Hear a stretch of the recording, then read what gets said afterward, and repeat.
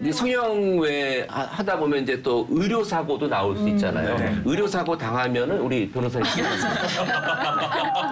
이상무 변호사님 혹시 뭐 관련해 가지고 뭐 그런 일은 있었나요? 뭐 의료 분쟁이란 네, 원장님은 좀 불편하실 수 있지만 네. 성형 수술하는 과정에서 뭐 이렇게 경직되거나 아니면 신경이 마비되는 경우에 소송을 진행하는 경우가 있어요. 오. 근데 뭐 단순히 이제 만족도가 낮다 뭐 그런 클레임 정도로는 소송까지는 갈 수는 그럼 없어요. 어느 정도까지 돼야 되나요? 신경이 마비돼서 움직이지 않거나 아. 예, 그런 경우에 소송을 많이 하시죠. 와, 그렇군요. 참고하시고. 이 원장님은 잘하셔서 그런 일 절대 네. 없습니다. 근데 두분 네네네. 보니까 굉장히 가까운 사이 같아요. 그렇게 아, 보이시고 네. 또두분다 핸섬하셔가지고 그, 그리고 네, 두분 비슷한 다두 분다 분위기세요. 미혼이신가요? 어. 아니 저는 결혼한 지 한 10년 조금 안 되고 아. 결혼한 지 네네. 10년 조금 안 되면 오래된 거네요.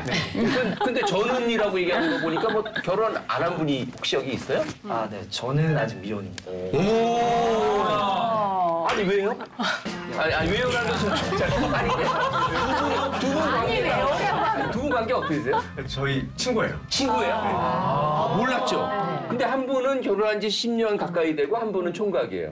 그뭐 친구로서 원인이 뭐라고 생각하세요? 어, 눈이 너무, 너무 높다. 아. 눈이 높다? 그러면 어, 여기 앞에 그 네 분 미인, 물론 이제 기혼자들이시지만은 이제 네. 이런 정도의 그 미인이 앞에 나타났다. 네. 음. 그럼 어떠시겠어요?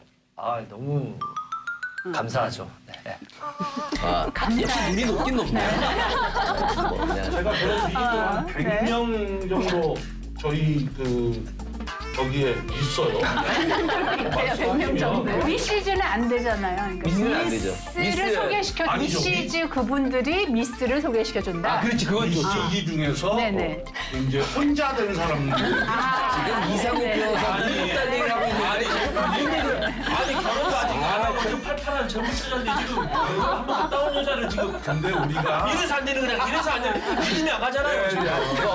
자, 우리가 이 시대에 그런 거 너무 그렇죠. 그래. 뭐 그런 않고 그래요. 네, 네. 좋은 사람이면 네, 네. 네. 자기가 나이가 지금 여기도 연식이 없는 거야.